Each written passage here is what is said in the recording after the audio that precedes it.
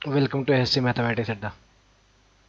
फिर आज के इस वीडियो में हम देखने वाले हैं सी जी एल का एक प्रीवियस पेपर, जो कंडक्ट हुआ था tenth of August 2017 shift two में। देखते हैं इसका फ़र्स्ट क्वेश्चन। ओके, पहला क्वेश्चन कह रहा है? How many numbers are there between one to two hundred which are divisible by three but not by seven हमें बताना है कि एक से दो सौ के बीच में ऐसी कितनी संख्याएँ हैं?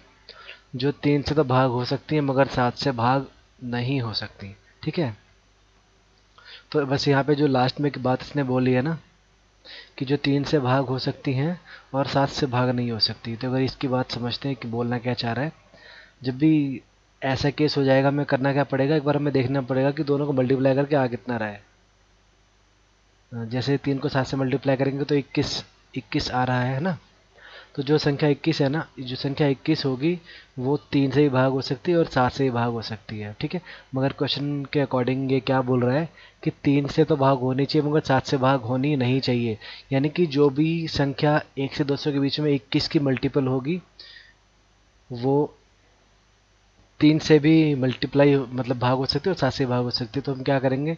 जितनी भी संख्याएँ होंगी, उसमें से 21 के मल्टीपल को हम घटा देंगे, ठीक है? तो वो हमारा आंसर हो जाएगा। देखते हम कैसे कर सकते हैं। अब देखो, एक से सौ के बीच में 21 के कितने मल्टीपल हो सकते हैं? एक तो 21 खुद है, फिर एक 42 फिर एक 63 फिर एक 84 यानी कि सौ, एक से सौ के अंदर चार हैं। तो दो सौ के बीच में कितनी होंगी? आठ संख्याएँ होंगी, है ना? जो कि 21 से भाग हो सकती हैं। तो आठ संख्या ये हो गई।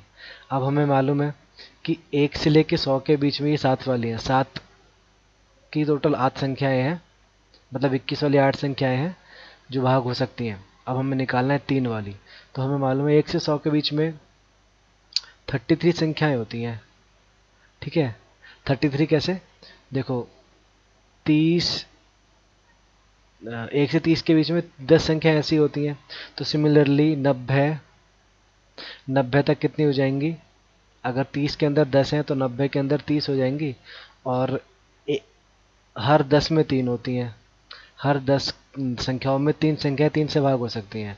तो एक्चुअल में कितना हो जाएगा? एक से लेके सौ के बीच में थर्टी थ्री संख्याएँ ऐसी हैं जो हमारी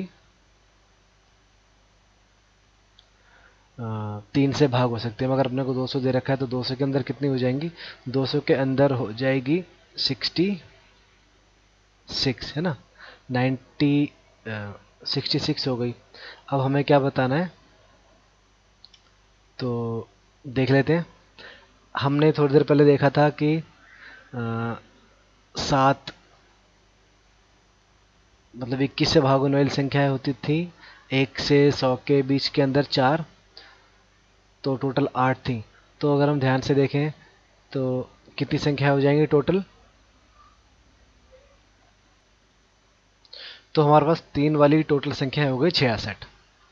ठीक है? ये तीन से भाग होने वाली संख्या हो गई छियासठ। अभी हमने थोड़ी देर पहले इक्कीस वाली संख्या देखी थी। ठीक है? इक्कीस वाली संख्या नॉर्मल कैलकुलेशन के अकॉर्डिंग हर सौ में चार आती है। मगर अगर हम ध्यान से देखें 200 जब हम 200 तक की बात करेंगे ना तो नौ संख्याएँ आ जाएँगी। कैसे?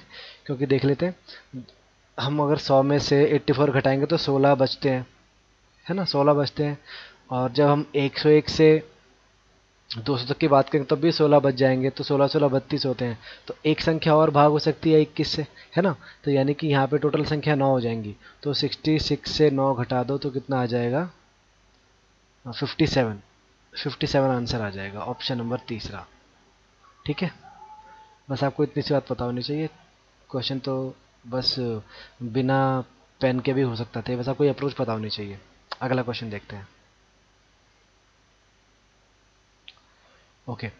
अगला क्वेश्चन दे रखा है, दस औरतें किसी काम को छः दिन में कर सकती हैं दस वुमन छः डेज़ में छः आदमी छः आदमी कर सकते हैं पाँच डे में, और आठ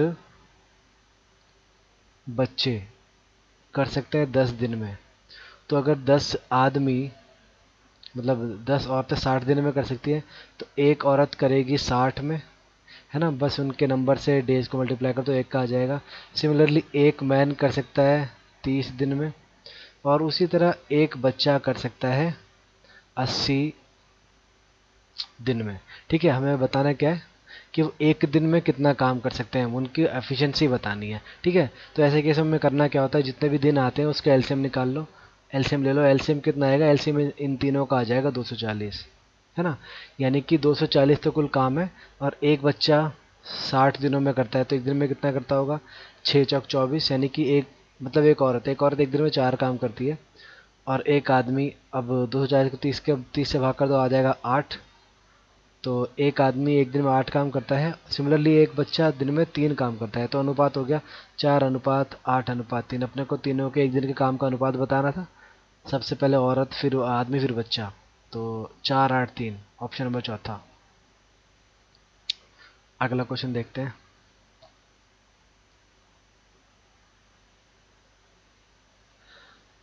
ओके थोड़ा सा इसको नीचे कर देते हैं। हाँ। अगला क्वेश्चन कह रहे हैं, दो बेलन के आयतन का अनुपात सात बटे तीन है। यदि उनकी ऊंचाई का अनुपात सात बटे नौ हो यदि दूसरे बेलन के आधार का क्षेत्रफल। ओके फ्रेंड्स अगर किसी सर्कल का एरिया 154 होता है तो उसका रेडियस सात होता है, ठीक है? ये पता होना चाहिए आपको। एरिया अगर 154 हो तो सात उसका रेडियस होगा, ठीक है ना? तो हमें मालूम चल गया, जो दूसरा वाला बेलन, उसका रेडियस सात है। तो हमें दे रखा है पाए आर स्क्वायर इंटू सात, क्योंकि पहले वाले बेलन की जो ऊंचाई है वो सात दे रखी है, और दूसरे वाले बेलन का रेडियस हमने निकाल लिया सात तो सात गुणा सात इंटू हाइट कितनी है उसकी नौ है, और दोनों जो हमारे आयतन है उनका अनुपात के अंदर देखा सात अनुपात तीन। तो सात से सात शहीद हो गया, तीन से, ये तीन बार शहीद हो गया पाई से पाई शहीद हो गया, हमें निकालना है आर स्क्वायर तो आर स्क्वायर कितना हो जाएगा? आर स्क्वायर बराबर सात इंटू सात इंटू तीन। तो अब इसका अंडर रूट कर देते तो आर आ जाएगा आर इज़ इक्वल टू सात रूट तीन। रेडियस से निकालना था अपने को शायद? हाँ रेडियस से निकालना था पहले सिलेंडर का तो वो हमारा गया सात रूट तीन। ठीक है? अगर आप में से किसी को ये वाला लॉजिक समझ में ना आया हो तो ऐसे होता है ये पाई आर स्क्वायर बराबर 154 तो यहाँ से अपने को आर निकालना है। ठीक है ना? तो वो साथ ही आएगा। तो मगर आपको याद होना चाहिए, क्योंकि वो पेपर में 154 का मल्टीपल ही देते हैं। तो अगर आपको पता होगा पहले से ही तो आपको सॉल्व नहीं करना पड़ेगा टाइम बचेगा। अगला क्वेश्चन देखते हैं। अगला क्वेश्चन कह रहा है, कंचन एक घड़ी अंकित मूल्य पर 25 परसेंट की छूट पर खरीदती है। माना कि अंकित मूल्य सौ रुपये था तो उसने कितने की खरीदी? पिछहत्तर की, क्योंकि 25 परसेंट की तो छूट है। है ना पिछहत्तर की खरीदी होगी। ओके अब वो ये कह रही है she sold it with gain of पिछहत्तर percent on what she has bought अब उसने जितने में खरीदी, उसका पिछहत्तर परसेंट फ़ायदे में उसने उसको बेच दिया, है ना? यानी कि सेवेंटी फाइव इंटू पिछहत्तर परसेंट का मतलब होता है तीन बटे चार, कहने का मतलब चार रुपये में तीन रुपये का फ़ायदा। चार रुपये में तीन रुपये का फ़ायदा मतलब आपने बेचा कितने में होगा? सात में बेचा होगा। कितने के सामान को? चार के सामान को। तो ये इंटू सात बटे चार हो जाएगा। तो अगर हम इसको एक बार सॉल्व कर देंगे तो हमारा आंसर आ जाएगा। ठीक है? तो अगर इसको सॉल्व करके देखते हैं कितना आ रहा है। ये आ जाएगा सात पंजे पैंतीस। सात पंजे पैंतीस, हासिल तीन। सत्तर सत्तर उनचास उनचास और तीन, पाँच सौ। कितना आया था? उनचास दिन बावन फिफ्टी टू बटे चार। ठीक है? अब पाँच सौ पच्चीस को चार से भाग दे देते हैं, आंसर आ जाएगा। ठीक है? पाँच सौ पच्चीस डिवाइड बाय चार। चार एकम चार बचा चार तीय बारह। बम फूटा है। तो हमारा आंसर जो है ना 130 से ऊपर आ रहा होगा। तो 130 से ऊपर वाला एक ही ऑप्शन है ऑप्शन नंबर पहला, क्योंकि हमने खरीदा सौ रुपये का था और हमने उसको 130 से ऊपर का बेचा है। तो फ़ायदा कितने का होगा? 30 से ऊपर का ही फ़ायदा होगा ना तो 30 से ऊपर वाला एक ही ऑप्शन ऑप्शन नंबर पहला तो यही इसका आंसर हो जाएगा। तो प्रॉफिट हो गया 31.25 क्योंकि उसने प्रॉफिट प्रॉफिट ही पूछा है। बच्चे बाहर बम फोड़ रहे हैं, बताओ।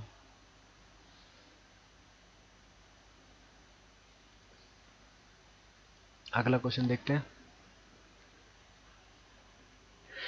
अभी तो दिवाली को बहुत टाइम पड़ा है, अभी से बच्चे दुनिया में गधों की कमी नहीं है। ओके अगला क्वेश्चन देखते हैं। ए बी सी को आठ हज़ार चार सौ रुपये आपस में बांटने हैं, इस अनुपात में छः अनुपात, सात अनुपात, आठ में। ठीक है? और हमें बता रखा है यदि उनकी बचत है तीन अनुपात, दो अनुपात, चार, तथा बी ने चार सौ रुपये बचाए तो ए बी सी ने कितने खर्च करेंगे उसका अनुपात बताना है, ठीक है? तो एक बार देख लेते हैं उनको मिला कितना कितना होगा। अगर हम इसको ऐड करें तो ये होता है इक्कीस एक्स इक्कीस एक्स का मान अपने को दे रखा है चौरासी सौ। तो एक्स का मान आ गया चार, इक्कीस चौक, चार सौ आ गया। तो ए को कितने मिले होंगे? पैसे कितने मिले होंगे सैलरी कितनी होगी उसकी? छः चौक चौबीस सौ। ये हो गया ए का बी को मिले आठ चौक बत्तीस सौ। और सी को मिले हैं, सात चौक अट्ठाईस सौ। ये हो गया उनका इनकम, ठीक है? अब जो वो बचाते हैं मतलब खर्च करने के बाद जो बचत होती है, सेविंग। सेविंग का अनुपात दे रखा है। तीन अनुपात दो अनुपात चार। मैंने ई e को खाली छोड़ दिया क्योंकि ई e मतलब होता है एक्सपेंडिचर एक्सपेंडिचर यानी कि खर्चा। ठीक है? अब अपने को बता रखा है कि जो बी है वो चार सौ रुपये बचाता है। है ना? यानी कि नीचे वाई मान लेते हैं। तीन वाई दो वाई और चार वाई और क्वेश्चन में अपने को टू वाई का मान दे रखा है चार सौ। अगर टू वाई का मान चार सौ है तो थ्री वाई का मान छः सौ होगा और फोर वाई का मान कितना होगा? आठ सौ होगा। कहने का मतलब ए बी सी नाम देते हैं, ये ए है, ये बी है और ये सी है। ए बी सी सी जो है वो अट्ठाईस में से आठ सौ बचाता है मतलब खर्च कितना करता होगा? दो हज़ार खर्च करता होगा, तभी तो आठ सौ बचेगा, ठीक है? सिमिलरली जो हमारा बी है, वो कितना खर्च करता होगा? चार सौ रुपये बच रहे हैं और बत्तीस सौ कमाता है तो अट्ठाईस सौ खर्च करता होगा। सिमिलरली जो हमारा ई e है, उसके छः सौ बचते हैं, चौबीस सौ उसकी सैलरी है तो खर्च कितना करता होगा? अट्ठारह सौ खर्च करता होगा। तो दो ज़ीरो से सब के दो ज़ीरो शहीद कर दो। अब ये सारे दो से कट सकते हैं। तो ये आ जाएगा नया रेशियो क्या है? अट्ठारह अनुपात अट्ठाईस अनुपात बीस। तो दो से काट दो आएगा नौ अनुपात चौदह अनुपात दस। और यही इसका उत्तर है, क्योंकि हमें यही बताना था कि एक्सपेंडिचर का जो रेशियो कितना है, हमें एक्सपेंडिचर का रेशियो पता चल गया। नौ अनुपात चौदह अनुपात दस, नौ चौदह दस ऑप्शन नंबर तीसरा। अगला क्वेश्चन देख लेते हैं। ओके अगला क्वेश्चन कह रहा है, चौबीस बच्चों की औसत आयु बारह साल है। बाद में ये पता चला कि एक बच्चा था जिसकी आयु आठ साल थी, चौदह साल लिख दी गई उसकी। यानी कि कम थी, ज़्यादा लिख दी। तो कितनी कमी है उसकी आयु में? छः ईयर्स क्योंकि उसकी आयु तो आठ साल थी, मगर चढ़ा कितनी गई? चढ़ कितनी गई? चौदह चढ़ गई तो छः साल। कम करने पड़ेंगे और ये छः साल जो कम होंगे ना, वो इन चौबीस के चौबीस बच्चों में कम होंगे। तो छः बटे चौबीस कितना हो गया? छः चौक चौबीस, यानी कि एक बटे चार, और एक बटे चार का मतलब होता है पॉइंट दो पाँच। यानी कि सभी की आयु में पॉइंट दो पाँच वर्षों की कमी होगी। तो पहले बारह थी, बारह माइनस पॉइंट दो पाँच बराबर ग्यारह पॉइंट सात पाँच ईयर्स। आंसर आ गया ग्यारह पॉइंट सात पाँच। ऑप्शन नंबर तीसरा ही तो बहुत ईजी क्वेश्चन था। अगला क्वेश्चन देख लेते हैं। ओके okay, अगला क्वेश्चन कह रहा है? Seventy percent C P is equal to forty percent S P loss या प्रॉफिट परसेंटेज बताओ। यहाँ से हम सी पी और एस पी का अनुपात निकाल सकते हैं तो C P upon S P कितना हो जाएगा? चालीस बटे सत्तर ज़ीरो से ज़ीरो शहीद हो गया। अब देखो सी पी के सामने है चार एस पी के सामने है सात, यानी कि चार रुपये का सामान था, सात रुपये में बेचा गया। तो कितने रुपये का फ़ायदा होगा? तीन रुपये का फ़ायदा कितने पे? चार पे। तो तीन बटे चार का मतलब कितना होता है? पिछहत्तर परसेंट, यानी पिछहत्तर परसेंट का फ़ायदा हो गया, क्योंकि हम ज़्यादा में बेच रहे हैं ना। चार रुपये का सामान था, सात में बेच रहे हैं तो ज़्यादा में बेचे तो आंसर आ जाएगा पचहत्तर परसेंट प्रॉफिट, ऑप्शन नंबर तीसरा। अगला क्वेश्चन देख लेते हैं। ओके अगला क्वेश्चन कह रहा है A percent of B plus B percent of A बराबर. फ्रेंड जब भी ऐसा क्वेश्चन आ जाएगा ना, अपने मन से ए बी की कुछ भी वैल्यू मान लो तो आपको क्वेश्चन करने में बहुत आसानी होगी। अगर आप ए बी सी डी में कन्फ्यूज़ होते हैं तो कोई भी वैल्यू मान लो तो ऐसी कंडीशन में ए बी की वैल्यू मान लेते हैं दस और सौ। यानी ए को मान लेते हैं दस बी को मान लेते हैं सौ। ठीक है? तो A percent of B A की वैल्यू कितनी दस? तो दस परसेंट ऑफ़ बी बी का मान है दस। मतलब सौ। तो सौ का दस परसेंट कितना होता है? दस ही होता है। दस plus B percent of A B कितना है? सौ। Hundred percent of A A का मान दस है तो दस का हंड्रेड परसेंट कितना दस ही होता है? तो ट्वेंटी आना चाहिए। अब देख लो ऑप्शन ट्वेंटी किसमें आ रहा है? Two A of two A percent of B पहला ऑप्शन जो है, two A percent of B तो टू इंटू ए का मान टेन परसेंट है। तो टेन बटे सौ इंटू सौ। बी इससे ही बीस आया तो आंसर यही होगा। Two A percent of B answer आ गया। पहला ही ऑप्शन है तो कोई इसी से बीस आ रहा है, ठीक है ना? Two A percent of D अगला क्वेश्चन देखते हैं।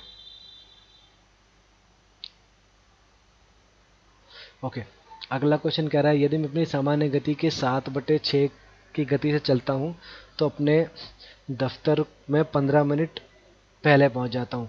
दफ्तर पहुँचने का सामान्य समय कितना लगता होगा? फ्रेंड जब भी ऐसा क्वेश्चन आ जाएगा ना जो अपने को फ्रैक्शन दिया हुआ होता है ठीक उसका व्युतक्रम लिखते हैं और एक से घटा देते हैं है ना? तो ये क्या हो जाएगा? Seven by sorry six by seven u minus u मतलब हमें स्पीड के बारे में बात करनी है या टाइम के बारे में बात करनी है तो ये जो बराबर होगा, बराबर हम कर देंगे समय के। जो भी अपने को समय दे रखा है, उसके बराबर कर देंगे। पंद्रह मिनट ठीक है? बस अपने को व्युतक्रम किया माइनस किया तो ये हो कितना गया? ये हो गया एक बटे सात यू बराबर पंद्रह तो यू कितना हो जाएगा? यू हो जाएगा पंद्रह इंटू सात। और पंद्रह सत्ते कितना हो गया? पंद्रह सत्ते एक सौ पाँच। आंसर ऑप्शन नंबर चौथा। अगला क्वेश्चन देखते हैं। अगला क्वेश्चन कह रहा है? एक आदमी ने दस हज़ार रुपये उधार लिए तीन साल में और छः हज़ार रुपये लिए चार साल में साधारण ब्याज समान दर से और उसको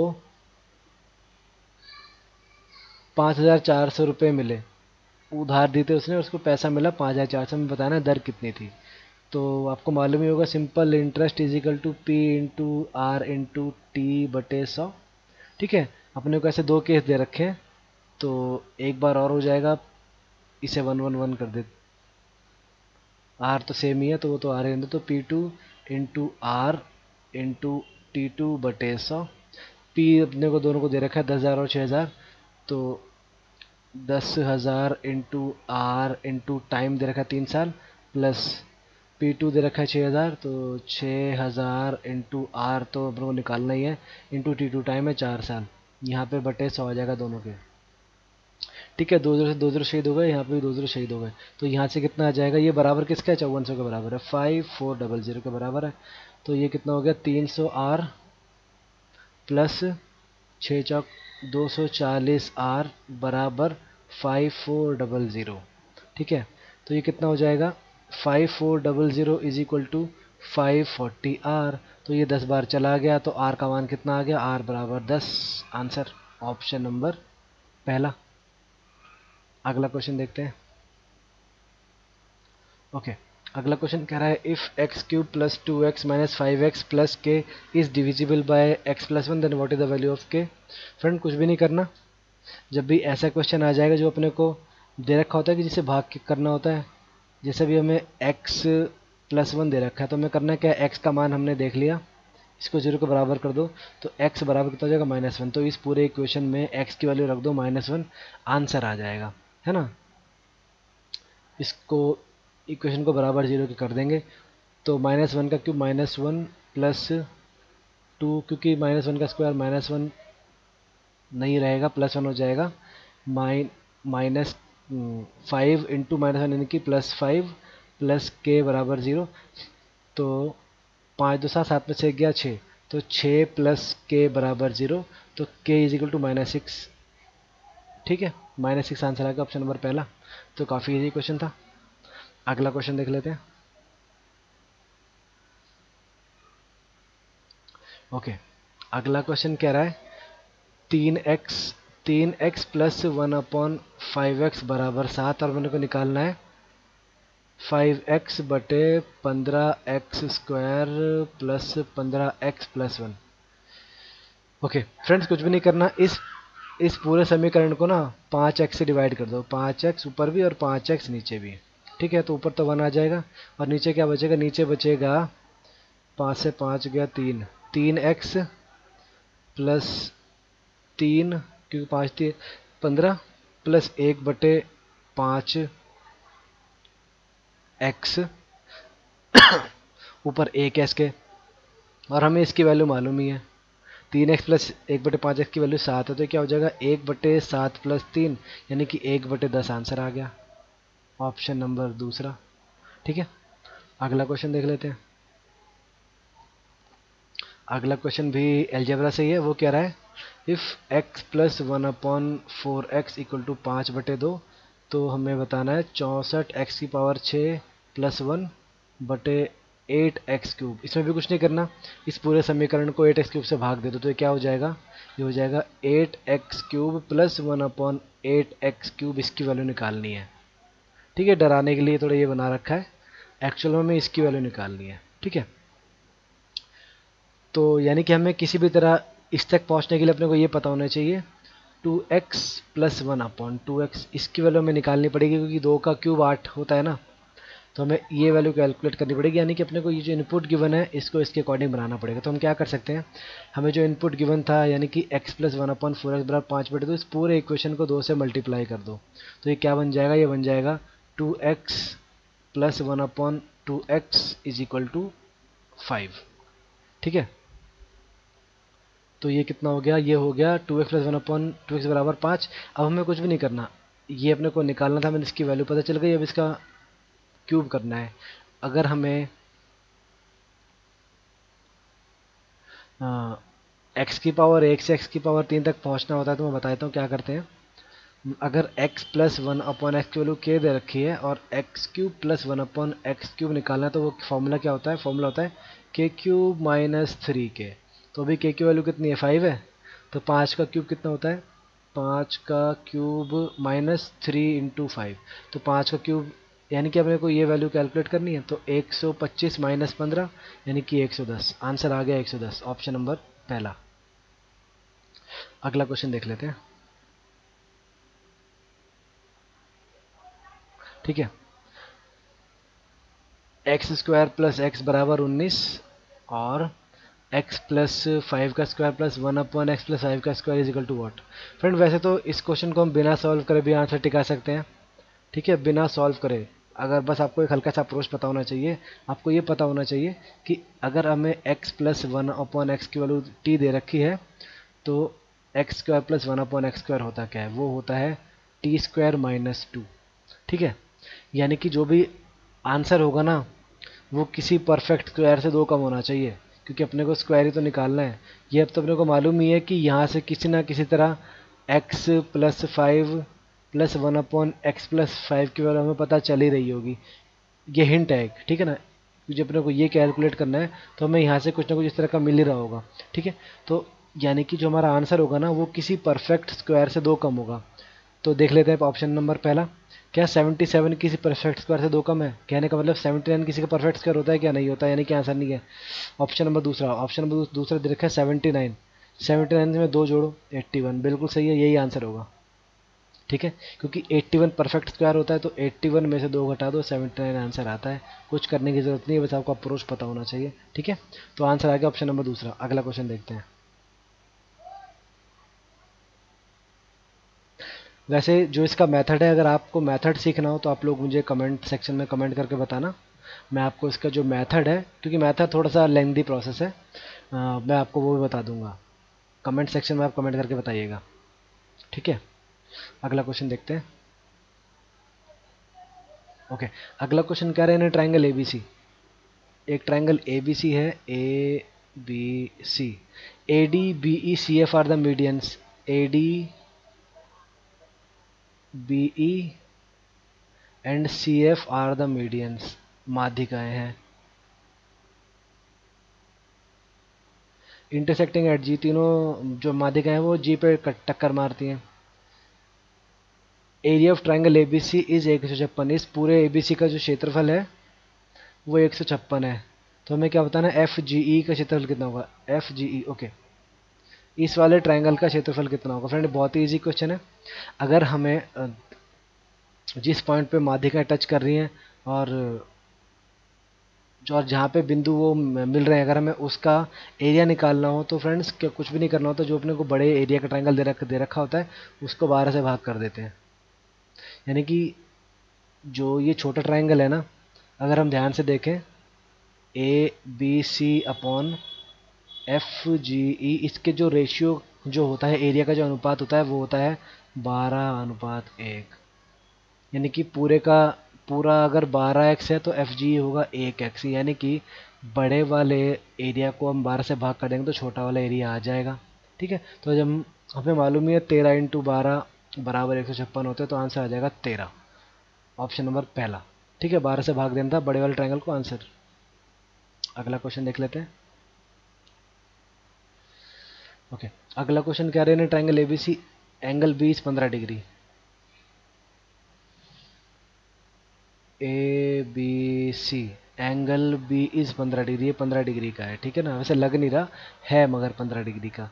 D is a point on B C such that D is a point on B C such that A D equal to B D A D equal to B D यानी कि जो ये भुजा है, ये इस भुजा के बराबर है। अब ये दोनों बराबर है। जब ये दोनों बराबर तो ये एंगल भी बराबर होगा, है ना? ये भी पंद्रह डिग्री का होगा। अब देखते हैं आगे क्या कह रहा है।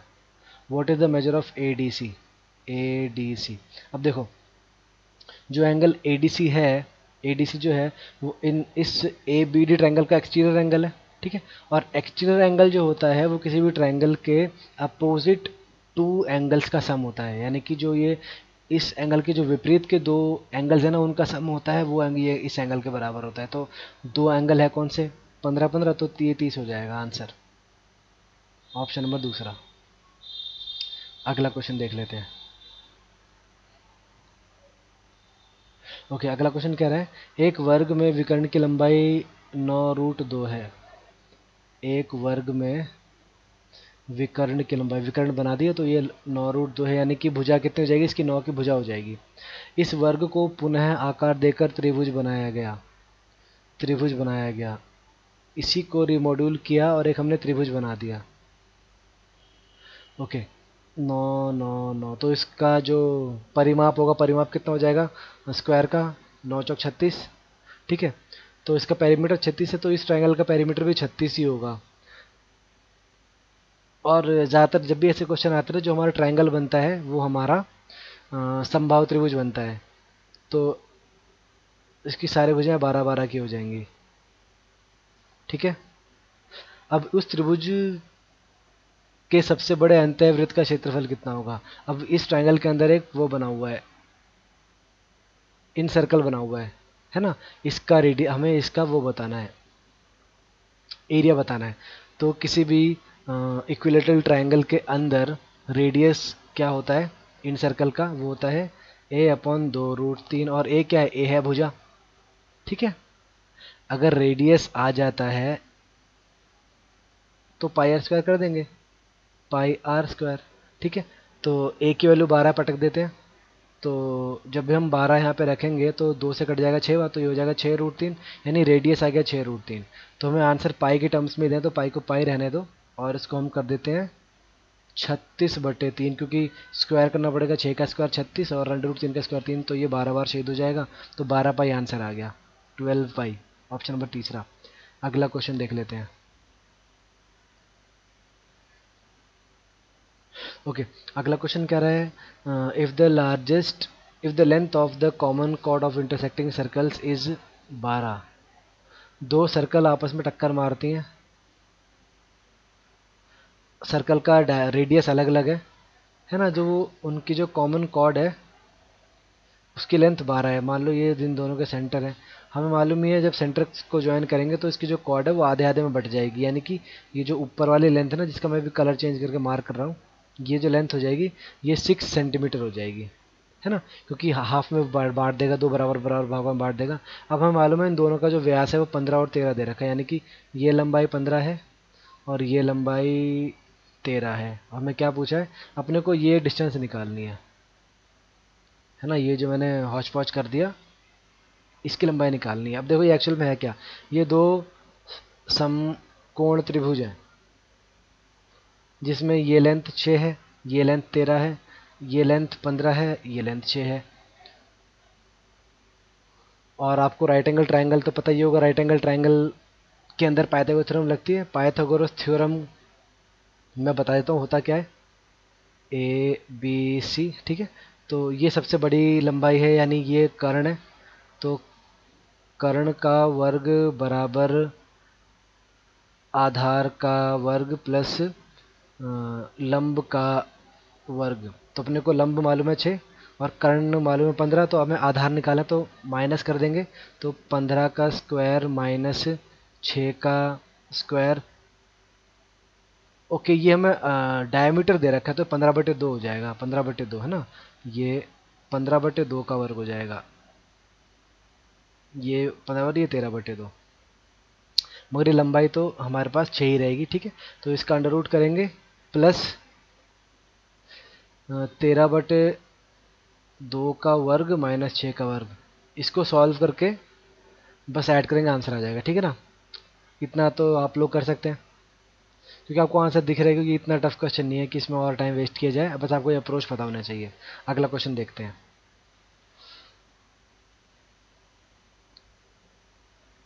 अगला क्वेश्चन कह रहा है what is the simplified value of ये ओके ये अपने को जो ये रिलेशन दे रखा है इसमें से हम सेक्स स्क्वायर कॉमन ले लेते हैं।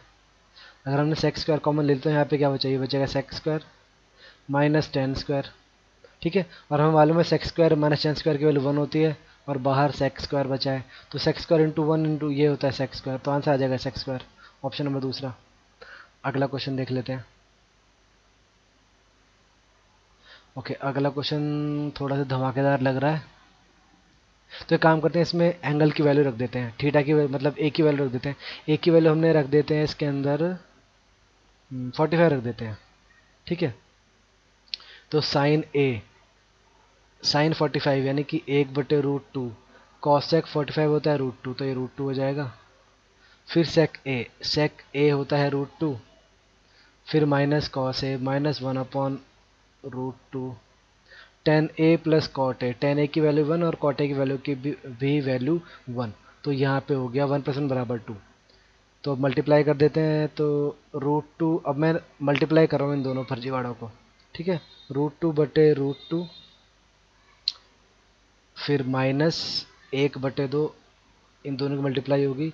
फिर माइनस टू इन दोनों की मल्टीप्लाई होगी तो टू आ जाएगा। फिर प्लस रूट टू बटे टू। इससे वैल्यू बनाएगी, इससे वैल्यू बनाएगी। तो वन वन टू, ठीक है? और इन दोनों को जोड़ेंगे तो बनेगा क्या? टू माइनस एक बटे दो माइनस दो। ये पूरा ब्रैकेट के अंदर और ब्रैकेट के बाहर हमारे पास बचा है दो। तो इससे हो गया ये शहीद। तो बचा माइनस एक बटे दो इंटू दो दो से दो शहीद हो गया, बचा माइनस वन। आंसर आ गया माइनस वन। ऑप्शन नंबर दूसरा। ठीक है? अगला क्वेश्चन देख लेते हैं। ओके। अगले क्वेश्चन में भी हम क्या कर रहे हैं? थीटा की वैल्यू मान लेते हैं। थीटा की वैल्यू 45 मान लेते हैं। कोई बात नहीं। तो वहाँ से पी की वैल्यू आ जाएगी। फिर पी की वैल्यू रख के सॉल्व कर लेंगे। आंसर आ जाएगा। ठीक है? देख लेते हैं। कॉस फोर्टी फाइव की वैल्यू होती है वन बाई रूट टू तो ऊपर पहुँच जाएगा। वन इंटू एक बटे root two minus cot forty five बराबर वन यानी कि one is equal to one by P तो हम यहाँ से पी की वैल्यू निकाल लेंगे तो ये क्या हो जाएगा? Under root two minus one equal to one by P ठीक है ना? ये रूट ऊपर पहुँच जाएगा। तो पी की वैल्यू एक्चुअल में क्या होगी पी इज़ इक्वल टू हो जाएगा under root two plus one क्योंकि हम इस वर्क को नीचे लाएँगे तो रेशनलाइजेशन करना पड़ेगा। रेशनलाइजेशन करने के बाद हमें मिलेगा पी की value under root two plus one ठीक है? तो पी का मान आ गया under root two plus one अब कॉस थीटा की वैल्यू कितनी होती है? मतलब थीटा हमने फोर्टी फाइव माना है तो यानी कि जो भी आंसर होगा ना, उसको सॉल्व करने के बाद एक बटे रूट टू आना चाहिए, ठीक है? एक बटे रूट टू तो एक बार मैं थोड़ा स्क्रीन को, एक बार पी की वैल्यू लिख के स्क्रीन को थोड़ा सा क्लियर कर दूँ, क्योंकि ऑप्शन को देखना पड़ेगा under root two plus one आना चाहिए पी की value one by root two solve करके आना चाहिए। ठीक है? देख लेते हैं एक बारी।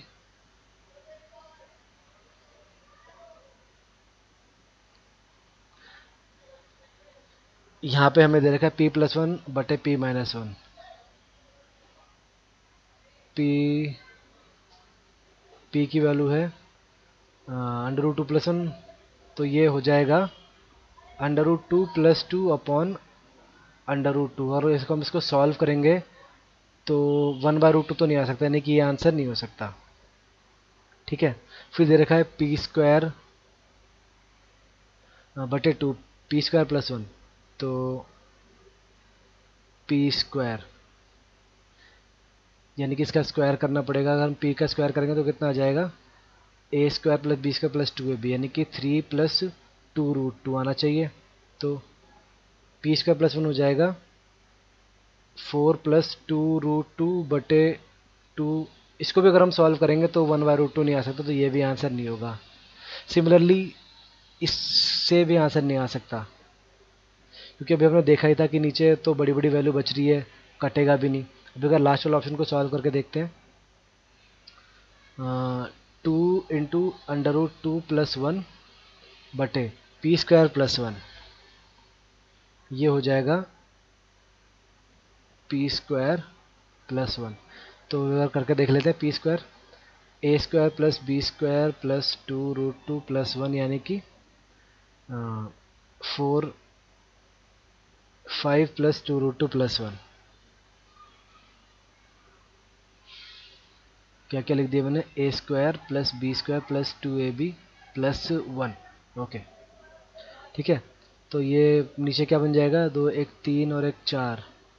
Four plus two root two बटे two into under root two plus one अब हम क्या कर रहे हैं? दो को डिवाइड कर देते हैं। पूरे गायब हो जाएँगे। तो ये बचा क्या?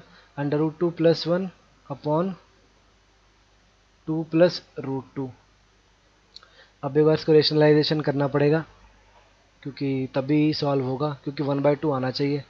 तो हम कर देते हैं, हो जाएगा two minus under root two upon two minus under root two तो नीचे कितना बचेगा? नीचे बच जाएगा टू बच जाएगा नीचे, क्योंकि A square minus B square हो जाएगा तो टू बचेगा नीचे। तो ये एक्चुअल में हो क्या गया? ये बन गया under root two plus one in two two minus under root two upon पूरे का टू ओके अब एक इसको मल्टीप्लाई करना पड़ेगा, थोड़ा बड़ा हो गया। Two root two minus two plus two minus under root two बटे दो। इससे ये शहीद हो गया। ठीक है?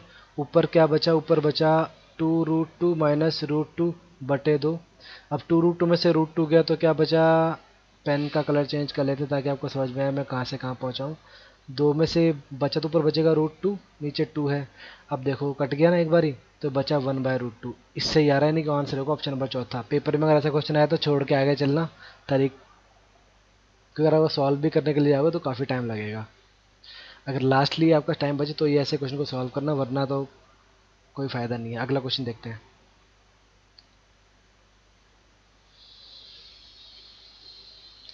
अब डी आई आएगी। ओहो। बड़ी खतरनाक डी आई है। चलो देखते हैं। ओके। अपने को कुछ डेटा गिवन है प्रोडक्शन और सेल का। What is the surplus of country A तेरह चौदह टेकन टुगेदर कौन सी कंपनी का? ए का। तेरह और चौदह।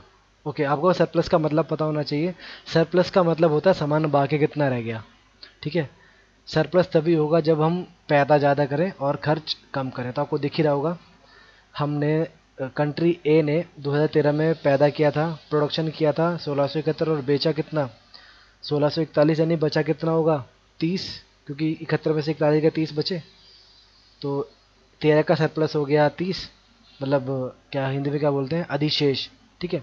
और, चौदह में ग्यारह सौ तीन उन्होंने पैदा किया था और एक हज़ार दो उन्होंने बेचा। तो बचा कितना होगा? एक सौ एक। तो टोटल सरप्लस कितना हो गया? One thirty one. किसमें दे रखा है ये? क्विंटल में दे रखा है।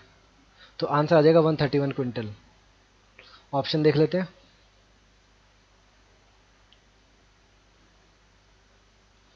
ऑप्शन नंबर दूसरा। ठीक है, अगला क्वेश्चन देख लेते हैं। आंसर आ गया।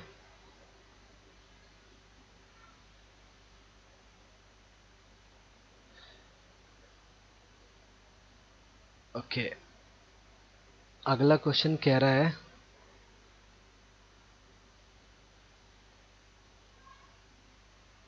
हाँ। अगला क्वेश्चन कह रहा है what is the stock of country C at the end of fourth year country C बचा कितना रह गया? तो फ्रेंड हम बचत कैसे नापेंगे? बस हमें क्या करना है? कौन सा साल दे रखा है? एंड ऑफ़ फोर्थ ईयर चौथा साल। चौथा साल यानी कि ये है। तो अंतर देख लो कितना है।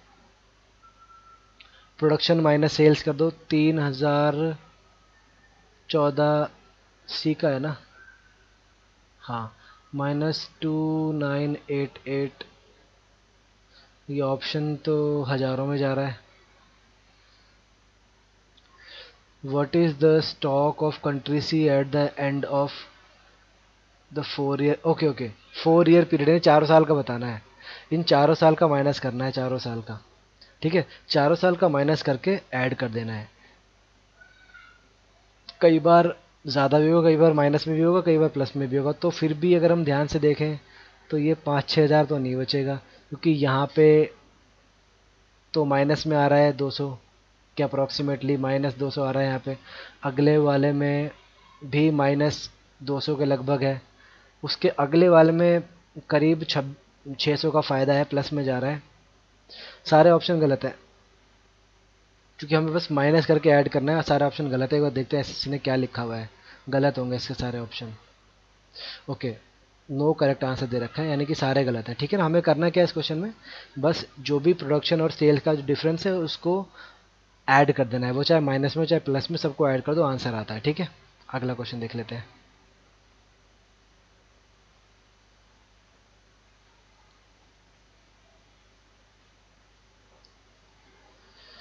ओके अगला क्वेश्चन कह रहा है what is the difference in average production and average sales of country C in the given four years कौन से का है? Okay okay. फ्रेंड देखो, इसमें भी कुछ भी नहीं करना। सी कम कम कंट्री का ही बताना है तो इन सी वालों को सभी को ऐड करेंगे। ऐड करने के बाद कुछ वैल्यू आएगी, उसको सॉल्व करेंगे। ठीक है? जैसे मान लो इसको सॉल्व करने के बाद आ गया छः हज़ार। मान लिया। सिमिलरली सेल्स को भी ज्वाइन करेंगे। इसको भी ऐड करेंगे। मान लो यहाँ से आ गया पाँच हज़ार। मगर अपने को एवरेज बताना है तो इसको क्योंकि चार साल है तो चार से भाग करो, चार से भाग करो। उसके बाद उन दोनों का माइनस कर दो। माइनस करके जो वैल्यू आएगी, वो आंसर हो जाएगी। ठीक है? तो बस इनको ऐड करना है, ऐड करके चार से भाग करना है सेल्स को ऐड करना है, ऐड करके चार से भाग करना है। फिर लास्टली जो वैल्यू सपोज़ यहाँ पे आ गई पंद्रह सौ और यहाँ पे आ गई बारह सौ पचास तो अंतर कितना है ढाई सौ? तो आंसर ढाई सौ हो जाएगा। मगर अभी आप जब इसको ऐड करोगे तो वो वाली वैल्यू लगा के सॉल्व करना, ठीक है? मैथड मैंने आपको बता दिया, क्योंकि थोड़ा सा दिमाग खोरी वाला क्वेश्चन है। चलो इसमें भी कोई आंसर ठीक नहीं दे रखा वैसे भी। नो करेक्ट आंसर ठीक है? अगर हम सॉल्व भी करें तो भी आंसर मैच नहीं होता। अगला क्वेश्चन देखते हैं।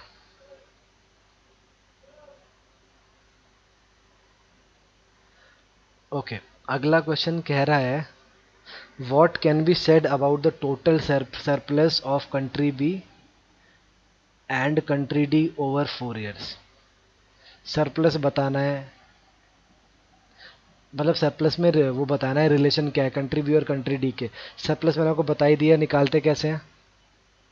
है ना? हमें करना कुछ नहीं होता। बस डिफरेंस देखना होता है।